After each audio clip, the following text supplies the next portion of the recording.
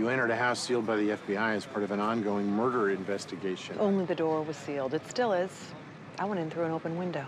Illegal entry. Not if you have one of these. I just chose to go in through the window. Where'd you get that? Hillary gave it to me. Before or after you shot her? If I'd shot her, she'd be lying in a pool of blood. She was shot earlier, her body dumped here. By you? Why would I do that? I'll bag this.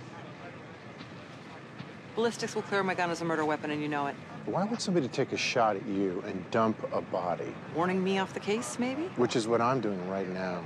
I don't like private investigators. You're usually cashed out cops or enthusiastic amateurs. We're neither. No, you work for the Secret Service together. Actually, Sean left before I joined. Now you're a couple of washed up bullet catchers who got retired because you screwed up.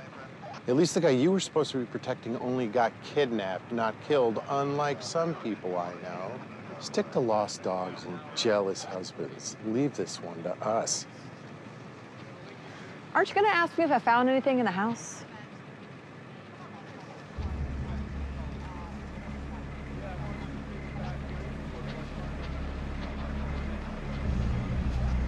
Did you find anything in the house? Yeah. I just don't know what it means. Any luck getting Edgar Roy to talk? No. Sean, what the hell have we stumbled into?